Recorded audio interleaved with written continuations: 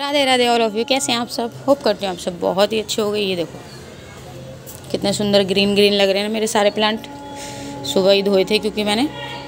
और देखो, शाम के साढ़े पाँच बजे रहे आपको मौसम दिखाऊँ एकदम अंधेरा अंधेरा सा छा गया है, देख सकते हो आप। सूरज अपने घर को चला गया है।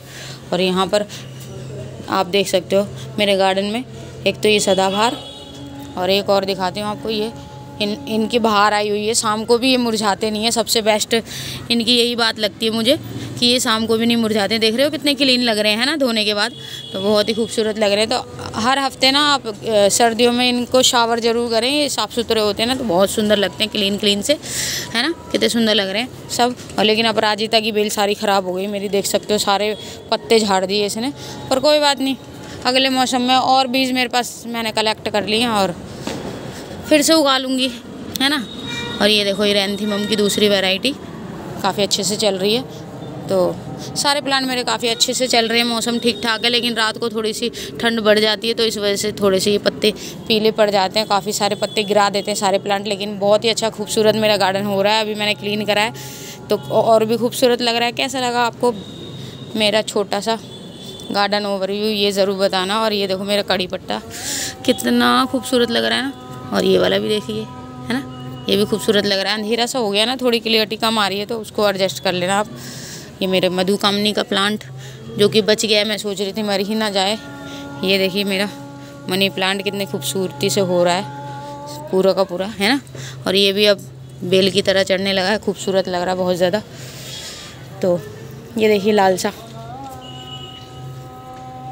और ये देखो ठंड की वजह से पूरी, ये मेरी ग्रीन ग्रास पूरी मर गई।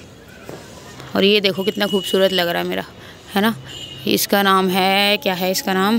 पेरीलेंथस डबल्स बैकबोन ये देखो, है ना? कितने खूबसूरती से हो रहा है। तो काफ़ी दिन हो गए हैं गार्डन अपडेट दी नहीं है, क्योंकि सिलाई में बहुत ज़्यादा बिज़ी हो गई थी मैं, क्योंकि करवा चौथ आ रहा आ रहा है ना?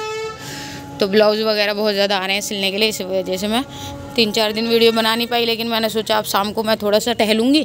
तो मैंने कहा, डाल देती हूँ दो चार वीडियो, अभी थोड़ा सा उजाला है तो मैंने सोचा थोड़ी बहुत क्लियरिटी आ जाएगी तो डाल ही देती हूँ। ये देखो कितने क्लीन लग रहे हैं ना, कितने साफ़ सुथरे लग रहे हैं सारे प्लांट धोने के बाद। तो धोने के बाद जो खूबसूरती आती है ना प्लांट्स पे, बहुत ही खूबसूरत लगती है, और छत भी क्लीन और प्लांट भी क्लीन। तो कैसा लगा आज का मेरा गार्डन ओवरव्यू ज़रूर बताना। कई दिनों में दिया है। तो मुझे तो बहुत ही खूबसूरत लग रहा है और यहाँ पे घूमने में भी बहुत अच्छा लग रहा है मुझे। तो चलिए मैं घूम लेती हूँ। आपको अच्छा लगा हो तो प्लीज़ मेरे चैनल को सब्सक्राइब ज़रूर कर लें। मैं मिलूँगी आपसे नेक्स्ट वीडियो में, तब तक के लिए ये देखो सदाबहार के कितने प्यारे प्यारे फ्लावर खिलते रहते हैं रोज़ डेली है ना? कितने सुंदर। तो चलिए, ये भी मेरी थोड़ी थोड़ी टटल वाइन भी ख़राब होने लगी है।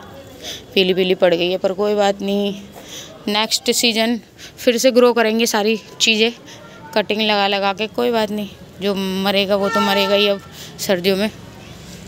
तो चलिए bye bye Radhe Radhe. Bye bye